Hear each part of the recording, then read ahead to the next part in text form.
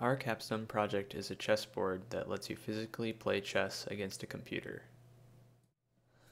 This is the header board for our project. We're using an MSP432 microcontroller.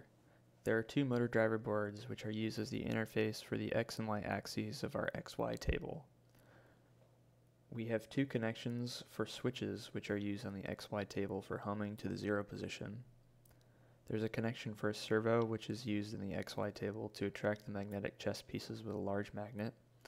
There's also a transceiver chip which we use to communicate through USB to a laptop using UART.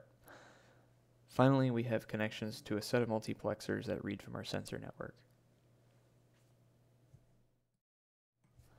Each tile of the board has a PCB with a reed switch. A pull-up resistor connects power to the output signal such that when the reed switch closes, the output signal will be logic 0. The PCBs are connected to a multiplexer which we use to pull the sensor network to determine which tiles have pieces on them.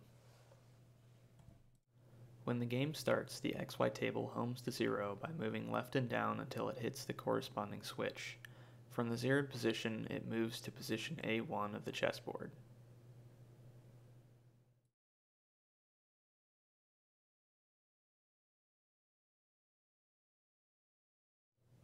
Now we're ready to play.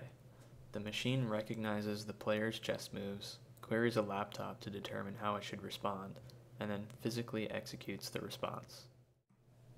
The system is capable of handling complicated moves such as castling, knight movement, piece capture, and en passant.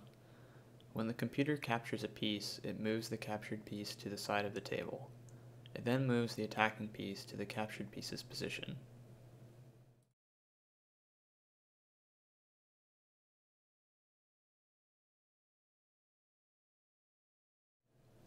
Here is an example of the computer castling, followed by some gameplay.